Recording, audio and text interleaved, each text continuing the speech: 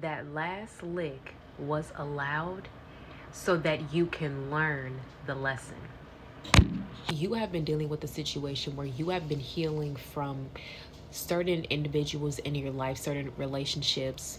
And this, doesn't always have to be romantic, but just any relationship in your life where these people were very, very verbally abusive, mentally, emotionally, psychologically abusive, where these people they use their words, thank you, Spirit, they use their words as weapons. Oh, thank you, Spirit, for that word. Their voices were vicious. Anytime they used their voice, it was vicious. Anytime they used their words, it was a weapon.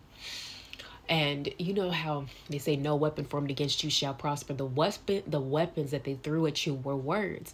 They were really trying to hurt you verbally.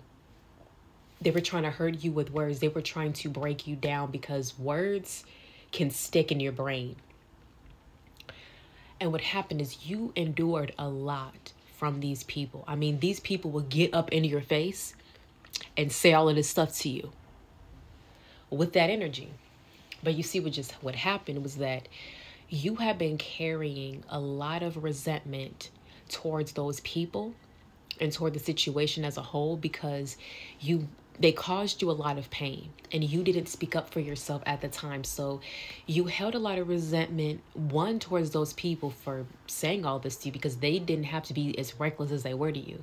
That was their choice though and the resentment also came from yourself because you're like, why did I allow these people to talk to me and disrespect me and just talk to me crazy? You held it in, like, and you really kept your composure. You kept turning the other cheek. You kept being silent. You kept you were slow to anger and you were slow to speak. At moments, you didn't even speak at times. And because of your silence, they took that as a weakness and they kept attacking you and you had to sit there and you had to endure a lot of those attacks. And a part of your healing was that you were allowed to give them a lick. You weren't going to give them as much licks as they gave you, but you were allowed to give them a lick. And you were learning a lesson in that. The lesson that you were learning was that you can redirect and channel your anger in a different way, channel your pain in a different way, and to channel that pain into your purpose and not onto the person. But the lick was allowed because it was helping you to unleash that rage that they threw on you. You returned the energy back to sender and in the same fashion that it was given to you. Hear me when I say that.